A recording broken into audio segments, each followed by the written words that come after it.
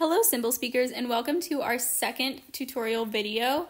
Um, if you have not watched our app tour video, you might find that one helpful as far as guidance around the symbol display and the record button. Today we'll be discussing our symbol display settings. So the first thing I'm going to do is put a phrase into the app.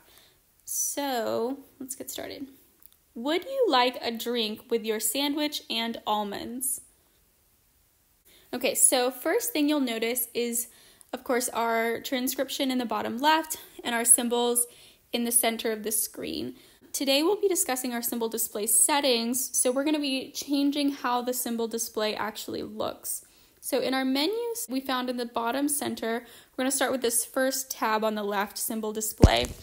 The first thing I'm going to do is change our symbol size by coming over here and moving us from small to extra large, which could be very helpful if you're working with someone who has trouble seeing the smaller symbols. So that took immediate effect, you'll notice. Um, and now our symbols are so large that we actually can't see them all in the symbol display box.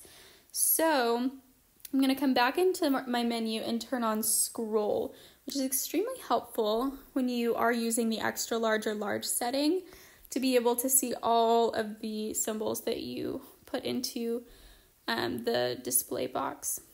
And then the next thing I'm going to do is turn on show words. So if you ever forget what this setting does, you can click this handy little eye, which will display an explanation at the bottom. So this displays text in the absence of a corresponding word.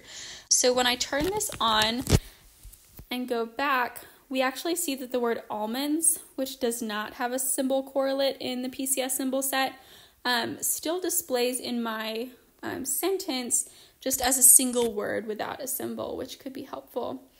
And then um, in the color coding setting, I'm going to turn this on last.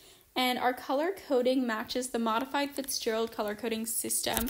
So when I go back to my main screen, You'll notice that they're instead of having blue tops, they now match the modified Fitzgerald color coding system.